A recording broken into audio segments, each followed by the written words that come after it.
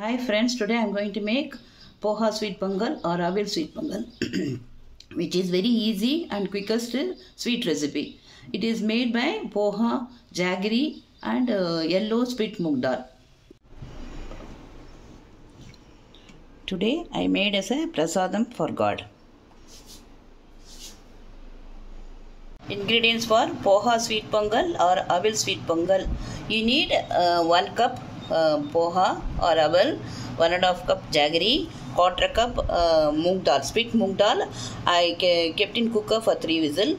Uh, raisins, cashew nuts, cardamom, ghee and water for this uh, poha. Same cup you have, I have taken in this cup everything. So same cup you have to take measurement for poha, uh, moong dal and jaggery. For baking the jaggery, I am keeping in microwave for 1 minute. See, it, it will come very easily if you keep in the microwave for 1 minute.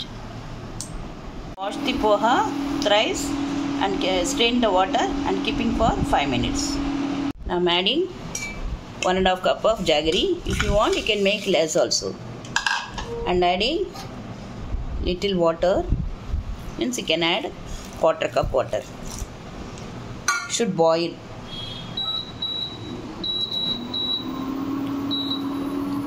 no need to have a thick syrup. It should boil then now jaggery is boiling.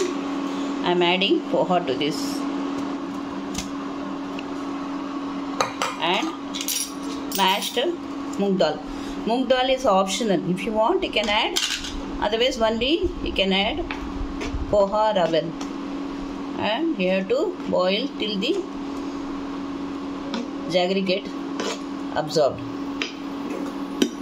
First I kept the jaggery for boiling uh, by adding quarter cup water to one and a half cup uh, jaggery and added uh, moong, moong dal mashed one and washed poha and added to the jaggery syrup.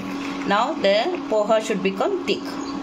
Now it is becoming thick I am adding